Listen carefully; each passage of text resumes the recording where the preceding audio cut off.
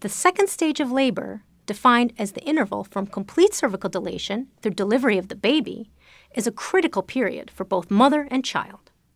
A prolonged second stage is associated with adverse maternal and fetal outcomes. The two most common approaches to managing the second stage of labor are immediate pushing, where women are encouraged to push with uterine contractions immediately after complete cervical dilation occurs, and delayed pushing, where the baby descends first. Both approaches are commonly used, but evidence is conflicting about which is optimal. The current issue of JAMA has a randomized trial that compares the effects of immediate versus delayed pushing on spontaneous vaginal delivery and on maternal and neonatal morbidities. The trial included more than 2,400 nulliparous women at or beyond 37 weeks gestation who were admitted for spontaneous or induced labor with neuraxial analgesia at six U.S. medical centers. Participants were randomized when they reached complete cervical dilation. Immediate group participants were instructed to begin pushing at the time of complete cervical dilation, while delayed group participants were instructed to wait 60 minutes. The primary outcome of the study was spontaneous vaginal deliveries, which are associated with lower risks of adverse neonatal and maternal outcomes than forceps, vacuum, or C section deliveries. Let's review the results.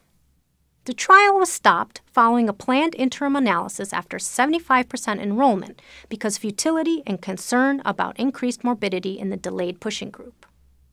Among the patients that were enrolled, spontaneous vaginal delivery occurred for 85.9% of women in the immediate group and 86.5% in the delayed group, a difference that was not statistically significant but statistically significant differences were observed in some pre-specified secondary and exploratory outcomes.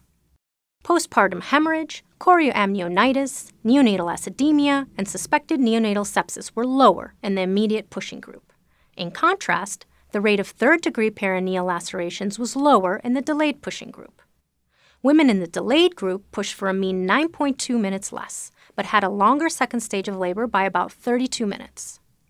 The authors conclude that among nulliparous women receiving neuraxial analgesia, the timing of pushing during the second stage appears to have no effect on spontaneous vaginal delivery. They also write that the no difference finding, combined with the evidence suggesting increased maternal and neonatal complications in the delayed pushing group, support the view that immediate pushing after complete cervical dilation may be a preferred approach to labor.